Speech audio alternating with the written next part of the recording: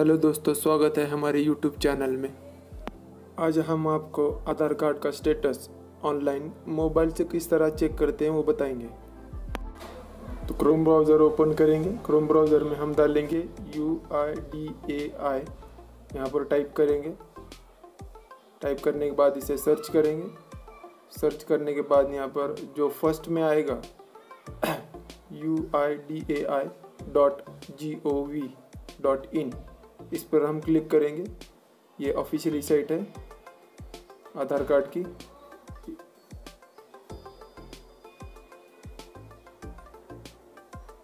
इस पर क्लिक करने के बाद इस तरह का सा इंटरफेस आपको दिखाई देगा। इसमें हमें चेक आधार स्टेटस पे क्लिक करना है। इसमें हमें जो भी हमने अपने आधार कार्ड में बदल किए हैं मोबाइल नंबर हो, ईमेल आईडी हो या नाम में कुछ करेक्शन किया है, उसका स्टेटस हमें इस तरीके से देखने को मिलेगा। ये चेक आधार स्टेटस पे हमें क्लिक करना है। क्लिक करने के बाद कुछ इस तरह हो के हमें यहाँ पर क्लिक करने के बाद कुछ इस तरह हमें इंटरफेस दिखाई देगा। थोड़ा सा स्क्रॉल नीचे करने के बाद चेक। यहाँ पर आपको दिखाता हूँ मैं। ये check enrolment and update status पर हमें क्लिक करना है।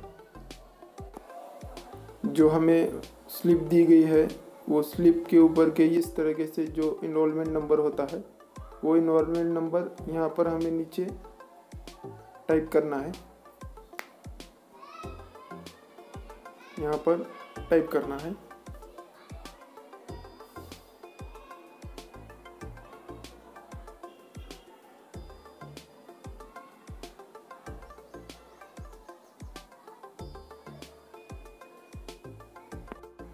टाइप करने के बाद वो स्लिप पर की हमें डेट डालना है। और डेट किस तरह डालना है, वो आपको मैं बताऊँगा।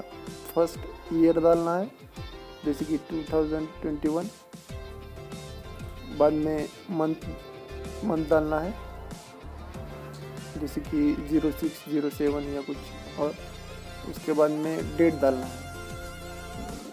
इस तरीके से यहाँ पर फिलअप करना है। और उसके बाद हमें टाइम भी डालना है टाइम इस तरीके से हमको दिखाई देगा। टाइम भी पूरा फिलअप करना है। सिर्फ़ नंबर लेने हैं।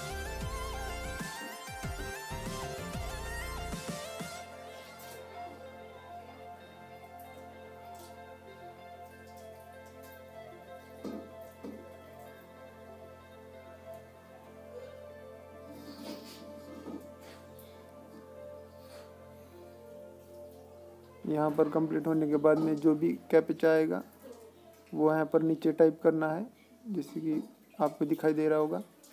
टाइप करने के बाद यहाँ पर सबमिट बटन पर क्लिक करना है। सबमिट बटन पर क्लिक करने के बाद आपका जो स्टेटस है, वो इस तरीके से आपको दिखाई देगा। आई होप फ्रेंड ये वीडियो आपको पसंद आई होगी। तो हमारे चैनल को सब्सक्राइब कीजिए लाइक कीजिए और कमेंट करना ना भूलें। इसी तरह की वीडियो आपके लिए हम लाते रहेंगे और आपका नॉलेज बढ़ाते रहेंगे।